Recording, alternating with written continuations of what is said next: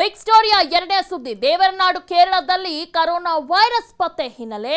ಈಗ ಇಡೀ ಗಡಿ ಜಿಲ್ಲೆ ಚಾಮರಾಜನಗರದಲ್ಲಿ ತೀವ್ರ ಕಟ್ಟೆಚ್ಚರನ ವಹಿಸಲಾಗಿದೆ.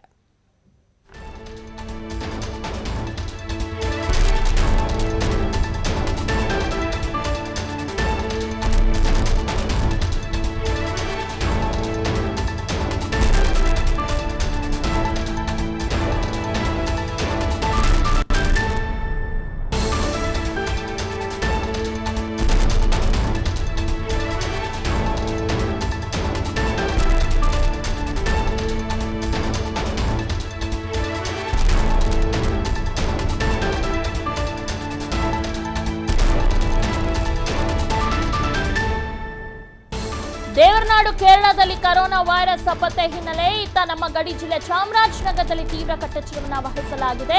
ಚೆಕ್ ಪೋಸ್ಟ್ ಬಳಿಯೇ ಆರೋಗ್ಯ ಇಲಾಖೆ ಬೀಡು ಬಿಟ್ಟಿದೆ. ಮೂಲೆ ಹೊಳೆ ಚೆಕ್ ಪೋಸ್ಟ್ನಲ್ಲಿ ಪ್ರಯಾಣಿಕರನ್ನ ತಪಾಸಣೆ ಮಾಡಲಾಗ್ತಾ ಇದೆ. ಕರ್ನಾಟಕದ ಕಡೆ ಬರುವಂತ ಎಲ್ಲಾ ಪ್ರಯಾಣಿಕರು, ಪ್ರವಾಸಿಗರನ್ನ ತಪಾಸಣೆ ಮಾಡಿ ಒಳಗಡೆ ಏನು ಪ್ರವೇಶಕ್ಕೆ ಅವಕಾಶ ಕೊಡ್ತಾ ಇರೋದು. ಗುಂಡ್ಲುಪೇಟೆ ಪಟ್ಟಣದಲ್ಲಿ ಕರೋನಾ ಚಿಕಿತ್ಸೆಗಾಗಿ ಪ್ರತ್ಯೇಕ ವಾರ್ಡ್ಗಳನ್ನು ಕೂಡ ಈಗಾಗಲೇ ತೆರೆದಿದ್ದ ಆರೋಗ್ಯ ಇಲಾಖೆ. ಮೂರು ರಾಜ್ಯಗಳ ಸಂಪರ್ಕ ಕೊಂಡಿಯಾಗಿದೆ. ಗುಂಡ್ಲುಪೇಟೆ ಈ ನಿಟ್ಟಿನಲ್ಲಿ ಅಲ್ಲಿ ಎಲ್ಲ ರೀತಿ ತಪಾಸಣೆಗಳನ್ನು ಮಾಡಿ ಒಳಗಡೆ ಬಿಡ್ತಾ ಇರೋದು. ಈಗಾಗಲೇ ನೀವು ನೋಡ್ತಾ ಇರ್ಬೋದು, ಸಾಕಷ್ಟು ಪ್ರವಾಸಿಗರು ಬರ್ತಾ ಇರ್ತಾರೆ. ನಮ್ಮ ಕರ್ನಾಟಕಕ್ಕೆ ಅಥವಾ ಕೇರಳದಿಂದ ಬರೋರು ಇರ್ತಾರೆ, ಅಥವಾ ಇಲ್ಲಿಂದ ಕೇರಳ ಹೋಗೋರು ಇರ್ತಾರೆ. ಸೊ ಈ ಸಂದರ್ಭದಲ್ಲಿ ಒಂದಷ್ಟು ಆರೋಗ್ಯ ಇಲಾಖೆ ಒಂದಷ್ಟು ಕ್ರಮಗಳನ್ನು ತೆಗೆದುಕೊಂಡಿದೆ. ಪ್ರತಿಯೊಬ್ಬರನ್ನ ತಪಾಸಣೆ ಮಾಡಿ ಒಳಗಡೆ ಬಿಡ್ತಾ ಇರೋದು.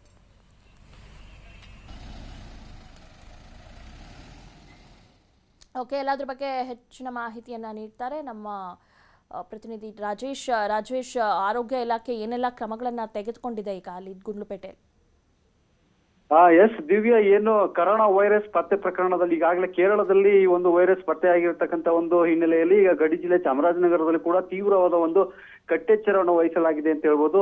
ಮೂರು ರಾಜ್ಯಗಳ ಕೊಂಡಿಯಾಗಿರ್ತಕ್ಕಂಥ ಗುಂಡ್ಲುಪೇಟೆ ತಾಲೂಕಿನಲ್ಲಿ ಇರ್ತಕ್ಕಂಥ ಒಂದು ಕೇರಳ ಗಡಿ ಅಂದ್ರೆ check post Mulewada check post ಬಳಿ ಈಗಾಗಲೇ ಏನು ಜಿಲ್ಲಾ ಆರೋಗ್ಯ ಇಲಾಖೆ ಬೀಡು ಬಿಟ್ಟಿದೆ ಅಂತ ಹೇಳ್ಬೋದು. ಅಲ್ಲಿಂದ ಕೇರಳದಿಂದ ಕರ್ನಾಟಕದತ್ತ ಬರ್ತಕ್ಕಂಥ ಪ್ರವಾಸಿಗರಿರ್ಬೋದು ಅಥವಾ ಪ್ರಯಾಣಿಕರಿರ್ಬೋದು.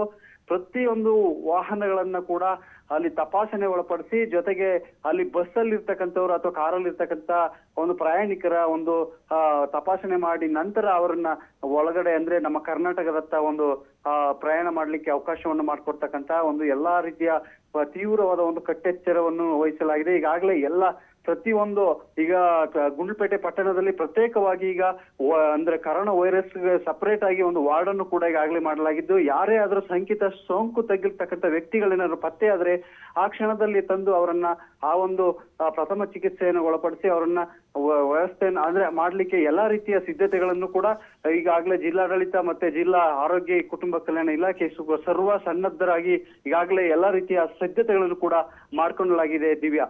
ಓಕೆ, ಧನ್ಯವಾದಗಳು ರಾಜೇಶ್ ತಮ್ಮ ಮಾಹಿತಿಗಾಗಿ. ಕೇರಳ ಬೆನ್ನಲ್ಲೇ ಈಗ ಹುಬ್ಬಳ್ಳಿಯಲ್ಲೂ ಕೂಡ ಕರೋನಾ ಭೀತಿ ಶುರುವಾಗಿದೆ. ಇದು ಬಿಗ್ ಸ್ಟೋರಿಯ ಮೂರನೇ ಸುದ್ದಿ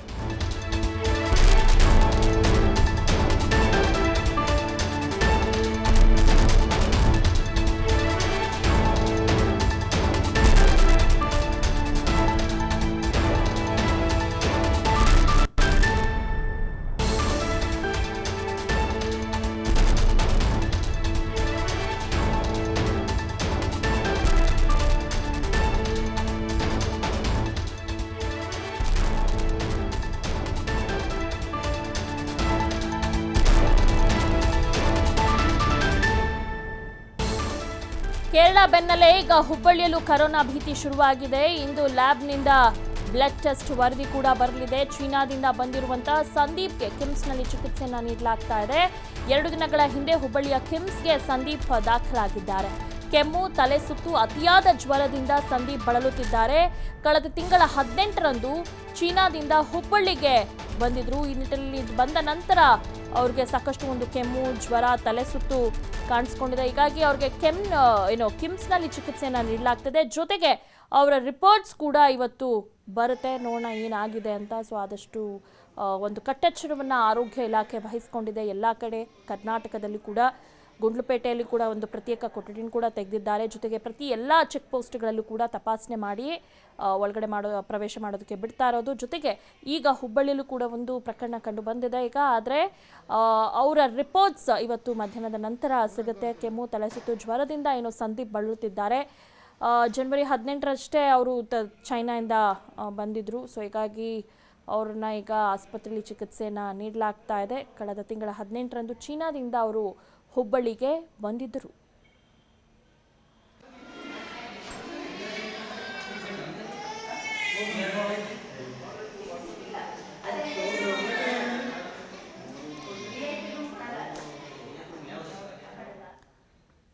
ಓಕೆ, ಇನ್ನು ನಮ್ಮ ಪ್ರತಿನಿಧಿ ಯಲ್ಲಪ್ಪ ವೈದ್ಯರ ಜೊತೆ ಒಂದು ಚುಚ್ಚಾಟನ ನಡೆಸಿದ್ದಾರೆ. ಬನ್ನಿ ನೋಡೋಣ.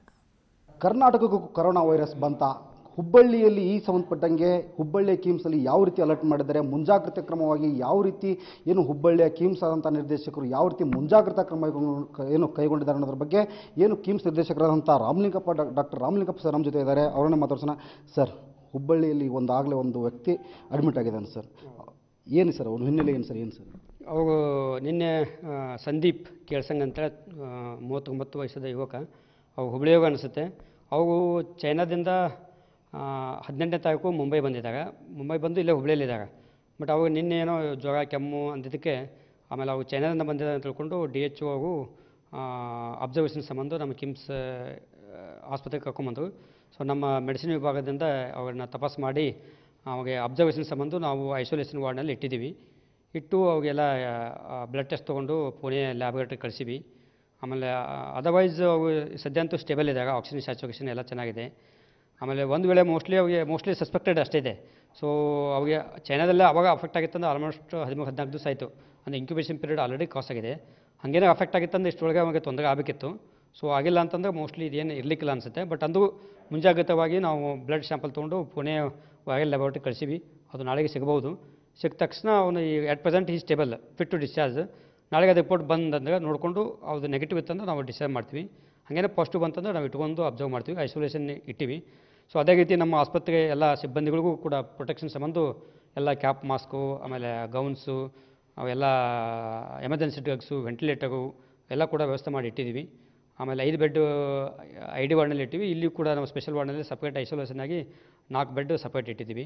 ಏನು ಈ ಒಂದು ಸಂದೀಪ ವ್ಯಕ್ತಿ ನಮ್ಮ ಕಡೆ ನಿನ್ನೆ ಬಂದು ಏನು ಅಡ್ಮಿಟ್ ಆಗಿದ್ದಾರೆ. ಹೀಗಾಗಿ ಅವನ ರಕ್ತ ಪರೀಕ್ಷೆ ನಾವು ಈಗಾಗಲೇ ಪುಣೆ ಕಳಿಸಿದ್ದೀವಿ. ನಾಳೆ ಈ ರಕ್ತ ಮೀನು ಮಾದರಿ ಪರೀಕ್ಷೆ ಬರುತ್ತೆ.